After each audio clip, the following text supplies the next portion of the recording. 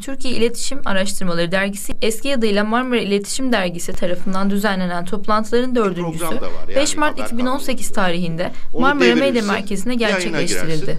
Tamam. Türkiye İletişim Araştırmaları Dergisi toplantılarının dördüncüsü medya ve şiddet temasıyla yapıldı. Medya ve şiddet temasıyla düzenlenen toplantı, dergi editörü doçent doktor Hediyetullah Aydeniz'in Türkiye İletişim Araştırmaları Dergisi ile ilgili gelişmeler hakkında bilgileri içeren Ee, selamlama konuşmasıyla başladı. Ee, Dekan hocamız e, ve Cengiz hocam ve diğer öğre- öğretim üyesi arkadaşlarımız özellikle gördüğüm kadarıyla çoğunluğu yüksek lisans öğrencilerinden oluşan e, öğrenci arkadaşlarımız hepiniz hoş geldiniz.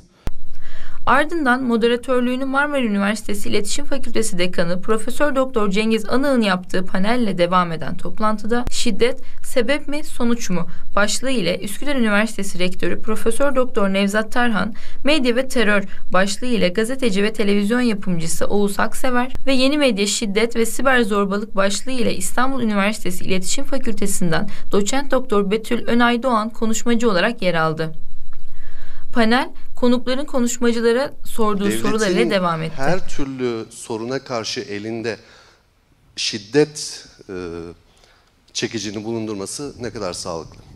Ardından Profesör Doktor Cengiz Anık'ın konuşmacılara teşekkürlerini sunup takdim ettiği hediyelerle dördüncü dergi toplantısı sona erdi.